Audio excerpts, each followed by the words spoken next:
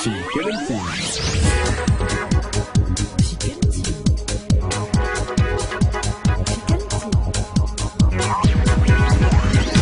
سلامة هشرح جرودي عسلامة كريم بالطبيعة نحكيو على س- آه، وزير الخارجية.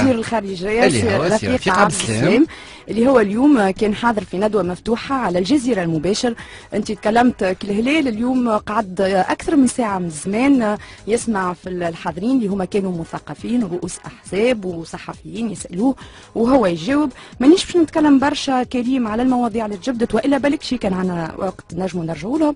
أما على خاطر فما نقطة تهم همت تهم التوانسة برشا تحدثوا عليها برشا وسائل الإعلام اللي هي فتح الحدود أما كي نقول تحثوا عليها معناها وسائل الإعلام بما أنه الحكاية دي خرجت من مسؤولين من الحكومة أما كريم اليوم أنا آه، سمعت سي رفيق عبد السلام ونسمعوا مستمعي إكسبريس إف إم اللي يستناو باش يفهموا شنو هي الحكاية هذيا.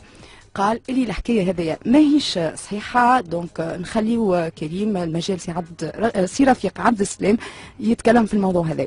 ما يتعلق بموضوع فتح الحدود. يبدو يثير كثير من الجدل في الإعلام والصحافة. إحنا ما فيش شيء استثنائي. يعني فيما يتعلق بعلاقاتنا المغاربية ما في شيء استثنائي. في توجه سياسي عام مزيد الانفتاح قائم على مزيد الانفتاح على دول المغرب العربي. وانعقدت يعني لجان مشتركة. عقدنا لجنة عمل مشتركة مع أشقائنا في الجزائر لجنة, لجنة مشتركة في المغرب لجنة مشتركة مع الموريتانيين. في توجه نحو تيسير الإقامة اللجنة المشتركة المغربية التونسية كثير من المواطنين المغاربة عندهم مشكلة متاع إقامة. ماشيين في توجه حل مشكلة الإقامة بصورة تدريجية في مشكلة عمل أيضا بالنسبة للمقيمين المغاربة. يسرنا لهم ظروف العمل بالنسبة للناس المقيمين لهنا. بالنسبة للجزائريين نفس الشيء لكن ما فيش توجه استثنائي لفتح الحدود بصورة كاملة. ما أشيع على بطاقات التعريف والعمل بطاقات التعريف من طرف واحد. هذا الأمر ليس دقيق وليس صحيح. نحن ملتزمين بالاتفاقيات المغاربية وما في ذلك مثل ما ذكر الدكتور بالعيد معناها اتفاقية مراكش أو معاهدة مراكش. لكن ما في شيء استثنائي. إذا في شيء استثنائي سيتم الإعلان عنه خلال القمة المغاربية التي ستنعقد في شهر أكتوبر في تونس. فأنا نطمنكم من الجانب هذا ما فيش شيء استثنائي وما فيش آه، خوف أو خشية من هجمة مغاربية حتى يتم التوظيف التوظيف هذا المعلوم في التوظيف هذا الموضوع في الإعلام والصحافة. إحنا من حيث المبدأ ماشيين باتجاه الانفتاح على أشقائنا المغاربة باتجاه وجود فضاء اقتصادي وربما سياسي مغاربي متكامل.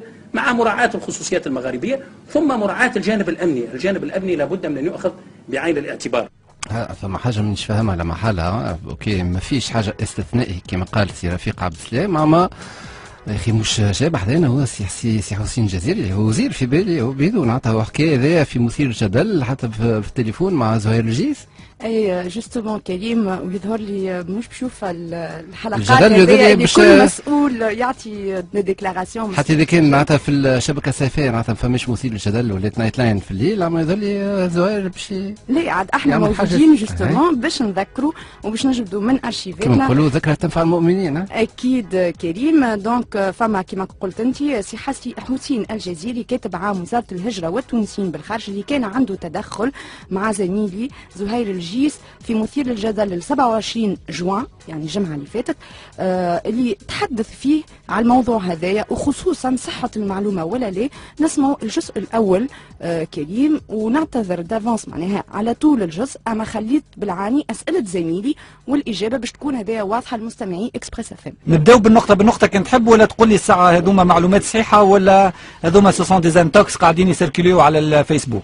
لا ما ثماش des intox سيد. اولا شكرا لإكسبريس افام على طرح آه، مثل هذه الملفات وهذه قضايا صحيحة والحوار والنقاش كله معناها آه، معقول ومقبول.